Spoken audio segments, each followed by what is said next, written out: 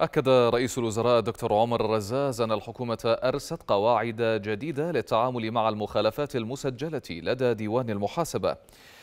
وجاء ذلك خلال ترأس الرزاز أمس جانبا من الاجتماع الأول للفريق المكلف بمراجعة المخالفات الموثقة لدى ديوان المحاسبة لعام 2019 وقال الرزاز إن الجميع لاحظوا حجم العمل والمتابعة الحثيثة لتصويب كل المخالفات السابقة مشددا على أن عمل الفريق يسهم في تعزيز نهج الشفافية والمصداقية ويؤكد سعي الحكومة الجاد للحد من المخالفات وهدر المال العام.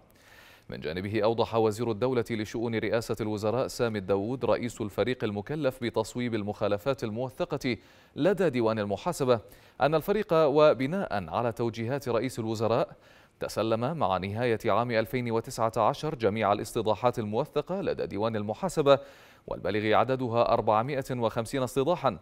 وبدأ الفريق فعليا بمناقشتها وتصويب العديد منها.